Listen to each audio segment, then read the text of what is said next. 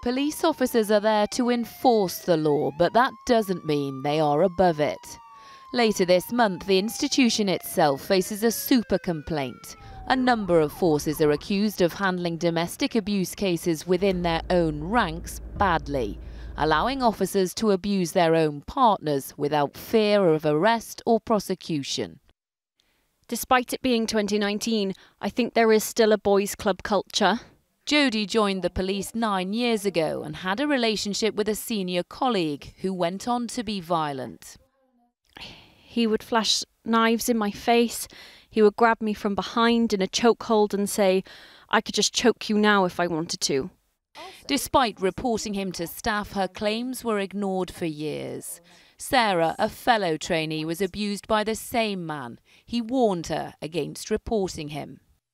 He told me that if I told anybody, they weren't going to believe me because he'd been in the force for so long and had friends in high places. I would rather get murdered in the street than phone the police now. Both women's names have been changed to protect their identities. Their abuser was eventually found guilty of gross misconduct, but had already resigned. And their experiences are not unique. 700 women reported abuse at the hands of police in the three years leading up to April last year, with less than a quarter of them ending in disciplinary action.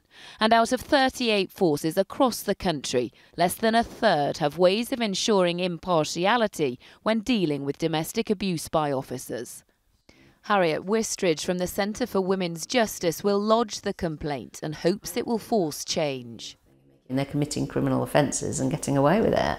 Uh, and so something uh, needs to be done to change that, to, to, to inspire more confidence, to encourage women that their complaints will be properly investigated. A super complaint like this will be dealt with by Her Majesty's Inspectorate of Constabulary and Fire and Rescue Services, along with the College of Policing and the Independent Office for Police Conduct. Now, they say all allegations of domestic abuse should be treated seriously, irrespective of who the perpetrator is, and any criminal allegations against police officers should be treated in the same way as those against members of the public.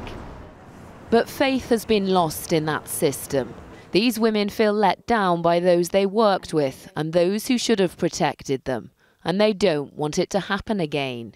Lucy Watson, News at 10.